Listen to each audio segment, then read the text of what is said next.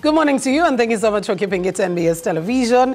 My name is Mildred Tohaise, and this is the topical discussion. As Alia said, our conversation will rotate around the private sector, its growth, the challenges, the opportunities therein, but also not forgetting the fact that government did set out a private sector development uh, plan, initiative, and action uh, points to see how it can get to bolster the private sector. For example, looking at some of the program results that it intended to achieve after the five years and also going through the National Development Plan uh, Phase 3, they, reduced, uh, they looked at reducing the informal sector from 51% that was in 2018-19 to about 45% in 2024-25. Now, this is that very financial year.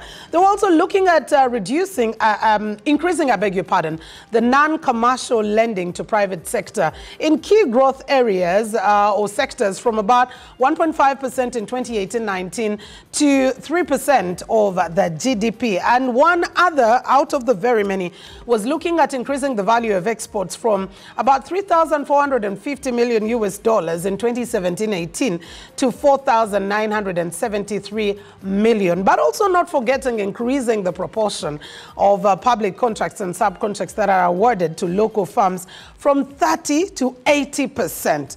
The question is, how far are we, especially that we are in the very financial year where this program will be coming to an end and then we'll be delving into um, an, a re-evaluation.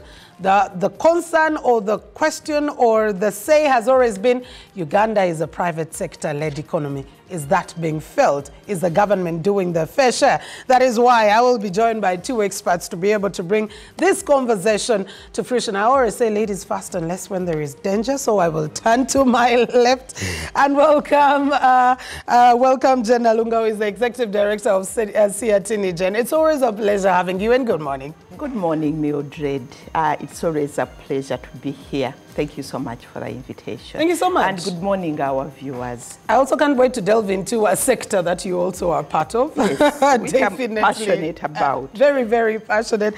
And also I do have uh, Mr. Patrick Katabazi Kichoncho, who is a lawyer, but also an economist, uh, and also in the private sector. So it's definitely a private sector conversation. Patrick, yes. good morning. A pleasure having you. Uh, yes, good morning, Mildred, and uh, good morning to our viewers.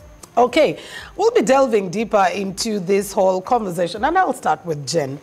Is it a facade? Is it a reality? Is it being uh, put in action when we continuously highlight for the good or for whatever reasons? Uganda is a private sector led economy and government is here to support. What comes to your mind when that statement is said?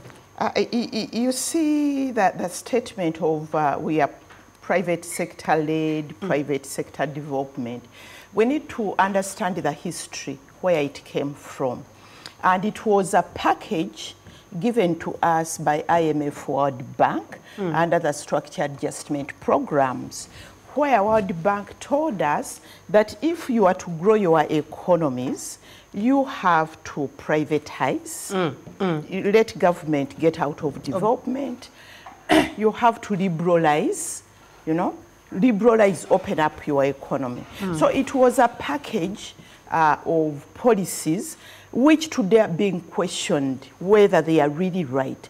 Because, by the way, when you look at uh, the developed countries, they told us private sector led, and they told our government to, to have Take a back seat. back seat just to level the ground, to ensure that there is a, a conducive environment. But when you look at the, the, the developed countries and how they developed, they didn't do that.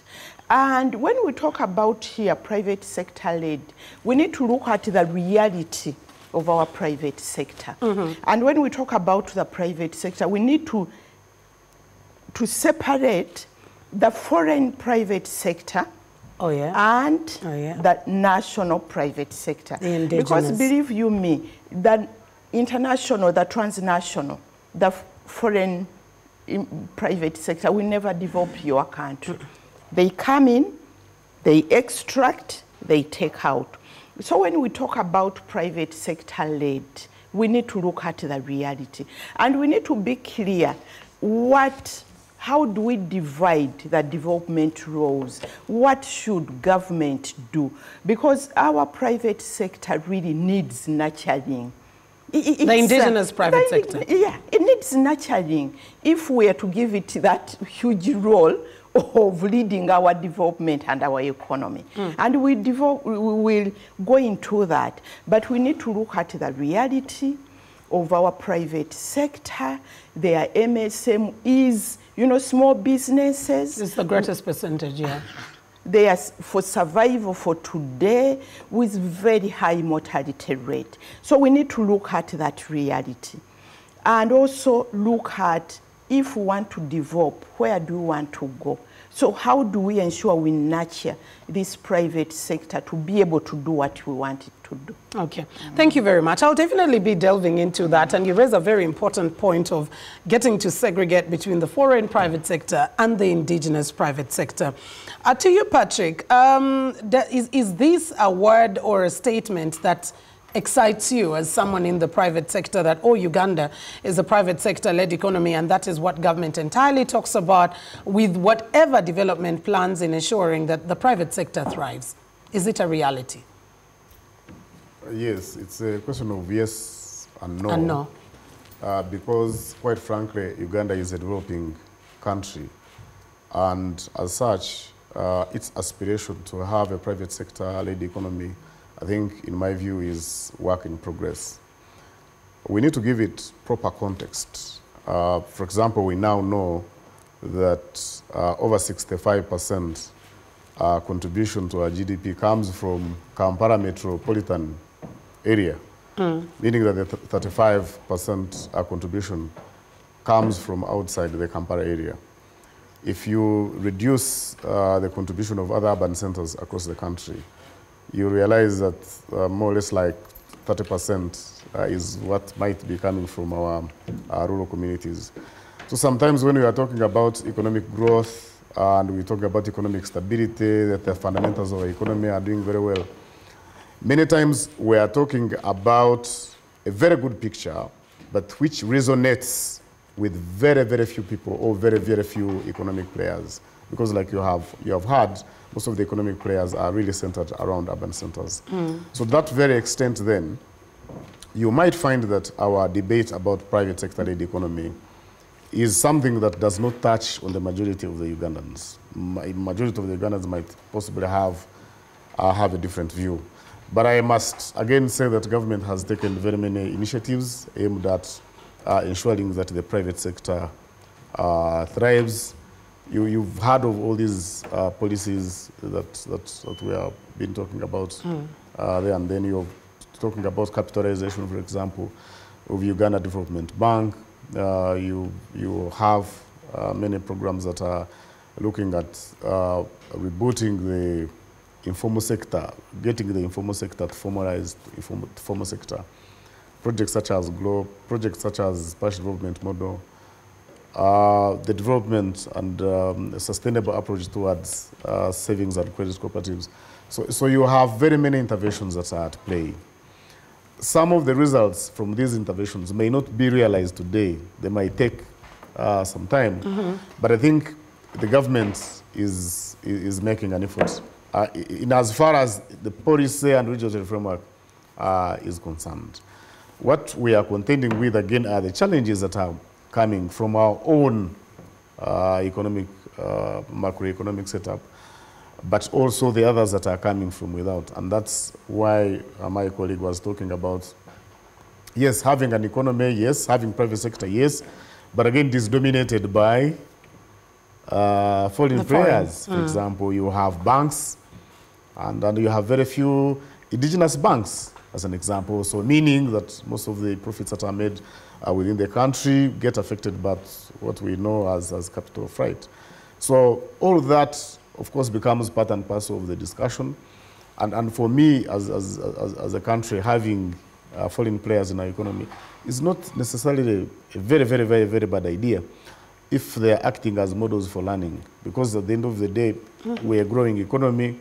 There are certain things that we don't have that we could have and learn from and adopt but and, is that um, and, the reality also on the other hand? So the reality is that this is either slow or non-existent in most cases. That's where the danger is. But ordinarily, the concept wouldn't be a very bad one. Okay, thank you. Jen, coming back to you and uh, on, on, the separation, why do we need to? Because after all, when we are talking about contribution to the GDP, this separation doesn't come through. We don't say private, uh, you know, indigenous contributed this much, private um, foreign did contribute this much. Why is it very important to specifically segregate and pay attention to these two sections differently? Um, it is very important um, because when we look at growing an economy, you know, that's, it's a homegrown economy. You have to depend on your private sector because the FDI, the, they are investors. They will invest here, they invest in Kenya, they will invest in Brazil, they invest in India. If your, your economy is ailing, they move they move. Mm. And they, when they extract what um, Patrick has said, for example, when they extract, they take out, out of the economy. So you can't depend on them to grow your economy, but you, we need them. We need them because they have sometimes the capital, some, sometimes they don't have capital by the way, mm. but ideally, you know, they have mm. the capital, Sometimes they have the technology, they bring the jobs. So what's important is how do you use the investors to be able to grow your domestic private sector mm. and grow the economy. I will give you an example of our, our investment code. Mm? Because you know, Mildred, policies are very important, you know. I hear sometimes the way people talk, why don't investors do this? Mm -hmm did you ask them, you know, do you, because we have a saying in SEATINI, if you want it, ink it, hmm? ink it, put it on paper, sign on it.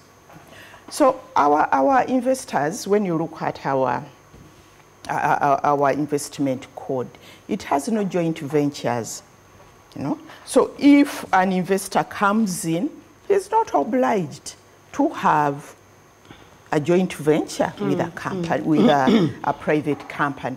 And this is one of the ways how we can be able to grow and nurture But, but, but joint ventures sector. are provided for by law, but they're not uh, obligatory to say. Then let us make it obligatory. Let us, you know, there is what we call, um, uh, what we call agreement shifting, treaty shifting, treaty shopping private sector, FDI, they, they, they, they, they, shop, treaty shopping. For them, they will say, according to the investment code, and according to the bilateral investment treaty, which I have signed between me, our country, in, uh, Britain, and, and Uganda, there is no joint ventures. So if we say that we want to use joint ventures as a vehicle to grow our private sector. Let us do that mm. also. There is the issue of technology transfer. Again, in our bilateral investment treaties we sign with other countries, our investment code, it's not there. Issues around ring fencing. What, what sectors, what businesses should the foreign investors go to? What businesses should our private sector going to. I'll mm. give you an example. We have an investor who came to Uganda, Neumann. They gave him land, they gave them land in Mubende to grow coffee. Why should you bring an investor to grow coffee, growing coffee? Probably because the indigenous people are not choosing to do that, even after the but, but we are everybody is growing coffee. What you do, because you have brought an investor to compete with your small scale producers, bring an investor because this is a German investor. You have the technology, you are coming from Germany, you have the technology, you have the muscle, financial muscle, and you have the market. What do you do with such an investor? Do you tell them, you, do you give them land? Do you di displace people? Hmm?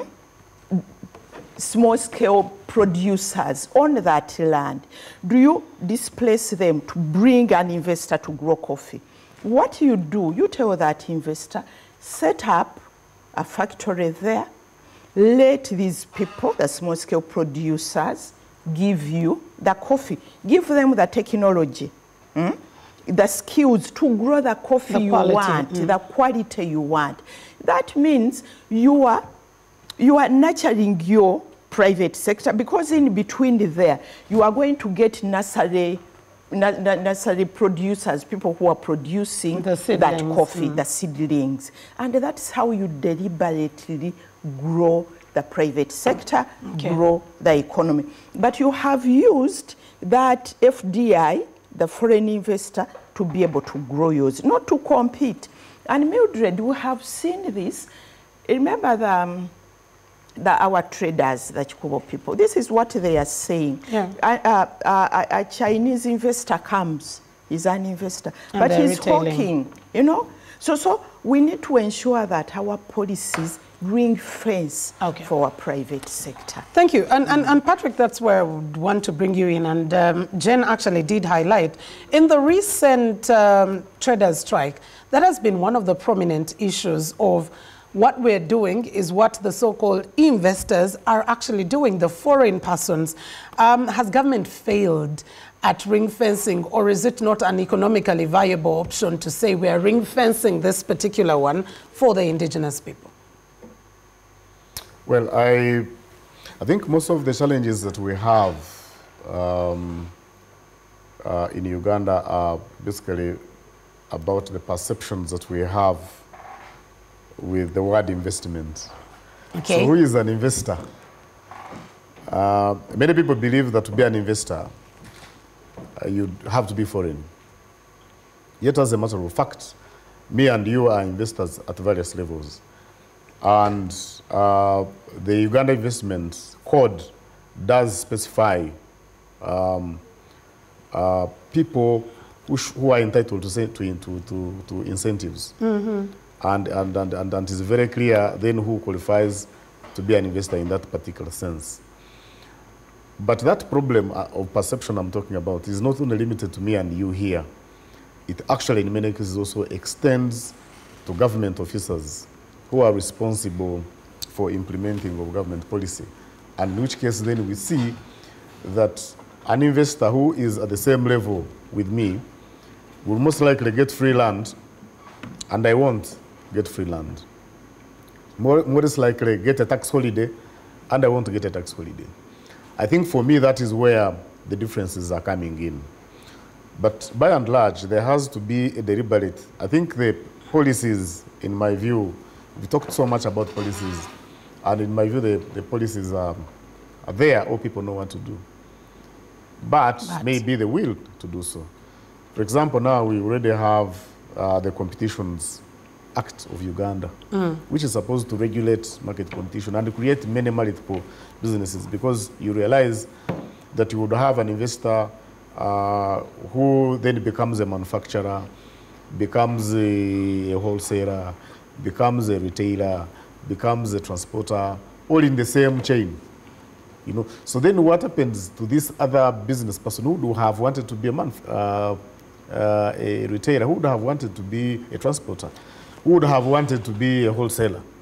So that kills so many businesses and so many jobs in between. Yeah. So, so the law is there, it needs to be implemented. So we've heard of the content, local content policies uh, at play. And for me, issues of joint ownership, uh, issues of collaboration, in my view, then comes into the local content. For example, if there's a job to construct a road, uh, in terms of employment, what is the local content there? In terms of ownership of the enterprise to do that activity, what is the composition of the local content? So, so for me, then, the, the competition law and the local content law would be very helpful in ensuring that we create, we strike that balance But, between but, but, but uh, Patrick, do we get to do the initial assessment and discussions before? Because I'm thinking it's a good one to talk about the Competition Act. It's a good one to talk about local content. But I'm also thinking, have you first provided a ground to train and equip and get the skills into the local market so that when you're talking about a contract, it will be taken by a local person or a subcontract? It's one thing to want a local person to take the subcontract, and another thing for the skills to be existing, or you having imparted them. But yes, yes. So the, the, the training uh, has to be an ongoing exercise. And actually, the reason why we're talking about local content here is, in my view, realization that, as a matter of fact, we are lacking the country, the Ugandans um, are not so much present in the ongoing government initiatives, and especially so in the business sector where most of the money is being taken away by non-Ugandans. It is a mm. realization. Mm. So now, even the interventions we are talking about are not 100% to say this should be 100% Ugandan.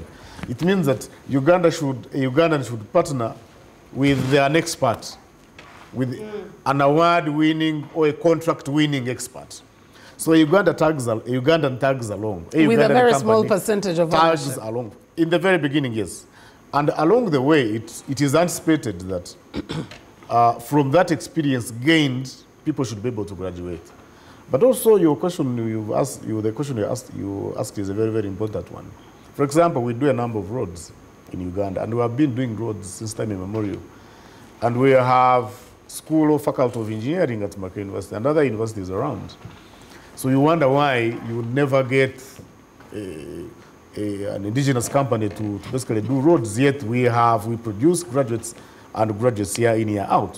Hmm. So, so the issue of capacity, the issue of confidence, the issue of capital, all those play a very significant role in shaping who gets a contract and who executes, executes it. So for me still, this local content dynamics that we are talking about should, in my view, be a stopgap measure to fill the gap that is existing. And once the gap is filled, this, it should be anticipated that going forward, or many years or hundreds of years to come, we should also be having uh, the experts of our own. For example, if I have, if I'm a local engineer and I have worked uh, prominently on a road Yeah. for 20 years, then it should be me now, after 20 years, To take it to up take it over. entirely. Yeah. Because I have the expertise, I have the knowledge. Maybe what I need then is capital. And that's why the issue of capital, in my view, especially in our, in our private sec- sector, remains a very, very big uh, bottleneck. For example, uh, you know getting a loan in the bank is between 20 to 27% in Uganda right now. When you go to the countries that we compete with, uh, I can give an example maybe of, of Egypt, the African ones, the South African and others. You're talking about a range of 10, 10 to 12 percent. Mm.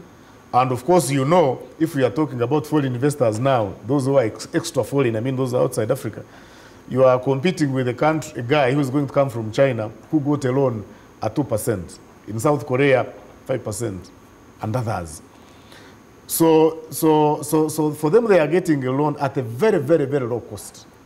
For you, you have the skill and the technical know-how, you have formed a company, but they want so much money, you can't even get it. Okay. And, and, and in my view, that again also undermines our private sector growth. The other thing that is also very prominent that we could also talk about alongside the local content and competition dynamics uh, is the issue of domestic arrears. I, I, and, and, and, and I think for me, this is what is breaking the backbone of private sector in Uganda.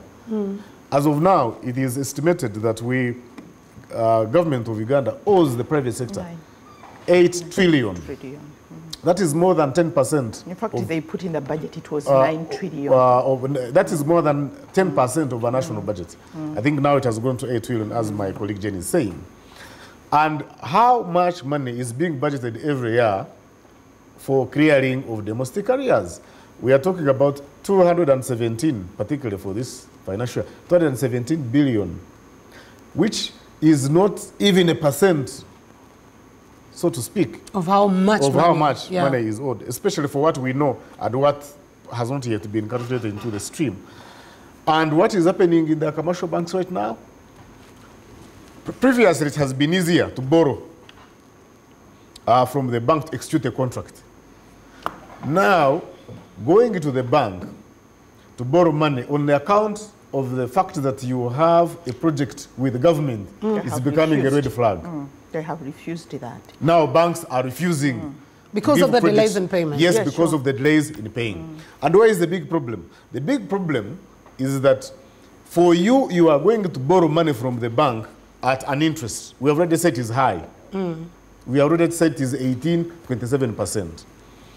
But this government, which is not going to pay you, is never going to add interest on your payment when it finally pays. And, and some of these debts that we're talking about that government owes private sector go beyond even five, five years. So ultimately, uh, it, it, it becomes very, very, very difficult Okay. for private sector players who are working with government to even compete when these projects, uh, which require uh, high levels of capital, kick in. And, and, and that's why we cannot uh, discuss the issue of skill set, uh, technical know, uh, know-how uh, outside the, the entire framework Yeah. of, of the factors of production. Thank Other you. factors of production. Thank you. And, and, and actually, you mentioned very, uh, a very important point. That is the monies that government has to be paying out to the private sector. And Jenna would ask, is government cannibalizing on the very private sector that is supposed to provide a conducive um, area for? Because I am thinking if you're holding up as much as 9 trillion shillings, you're holding up money that should have been in circulation, but you're holding someone's capital as well. Or even someone's profit in that business. Exactly. Yeah, that, that, that's very true. Uh, But, but what I want us to focus on, because those are symptoms of um, policies and systems which have gone wrong. Uh, because if we don't address the underlying causes of why we are where we are, because that problem is going to continue. Remember the last uh, budget, it wasn't as much as that. It has gone on, it has continued uh, going up. And I don't see any, any prospects of how government is going to get that money. That's why they are rolling it over all the time. So, so we need to, uh, to look at why are we where we are? Why that situation? Because if we don't do that, the problem of the domestic arrears, the, prob- the problem, bigger problem of indebtedness of our country, the big problem of financing. Um, Patrick has raised the issue of borrowing. Our private sector is borrowing at a very high rate. Why are we where we are? We go back to the policy of where we liberalized even in the financial sector.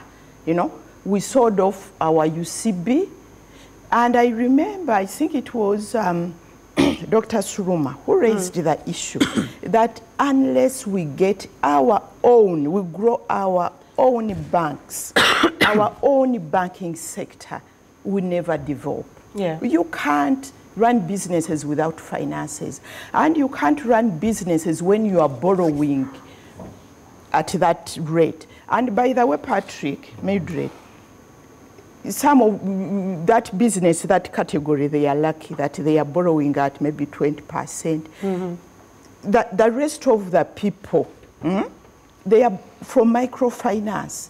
They are borrowing at a very high rate. They borrow today, you have to pay tomorrow. coupled by the money lenders in the market. Exactly. You know, so, so we need to look at that. We need to, to, to, to rethink our, our, our financial sector. How? Let's actually we- start off with that. we need our bank. And I, I remember the president, they talked about it even in par- parliament. Mm. We need UCB back. Some people will say they I will thought government them- is channeling that through the Uganda Development Bank and then. But where, where, where are they getting the money from? Because the, a bank is supposed to, to, to, to, to collect money Yeah. and be able to lend it, be able to, uh, to, to, to set policies that lend that money to agriculture at 0%. Can government do that? Because what government is doing now is to borrow even from the banks, the foreign banks here.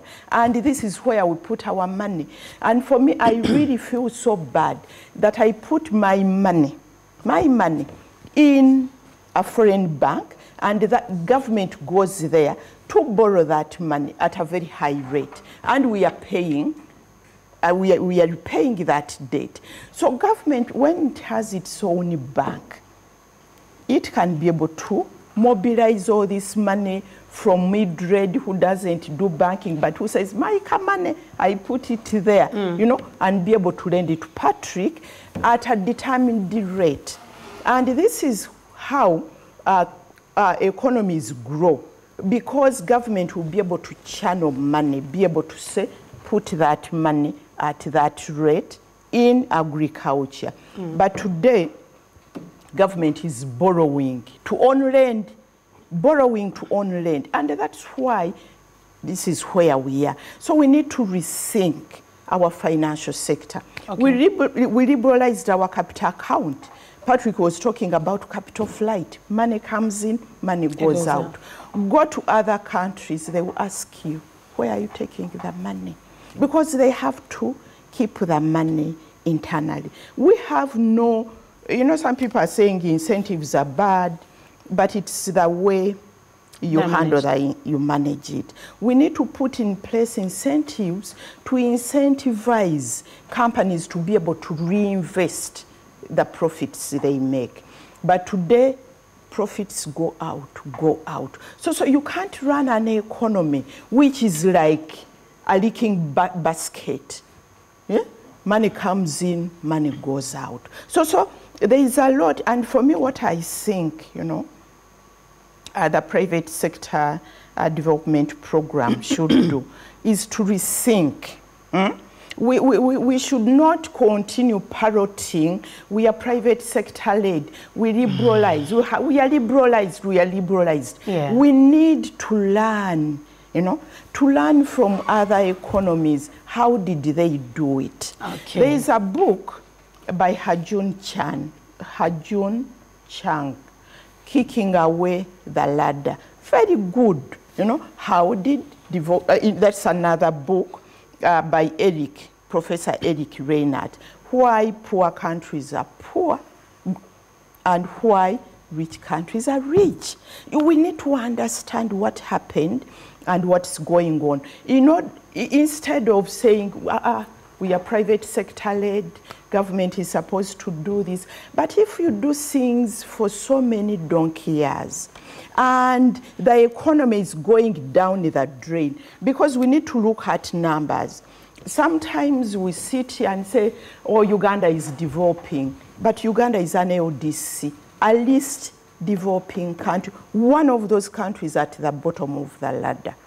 And we need to look at the reality that where we are, we are still exporting raw commodities, coffee, maybe gold. I don't know about gold. Let me talk about coffee.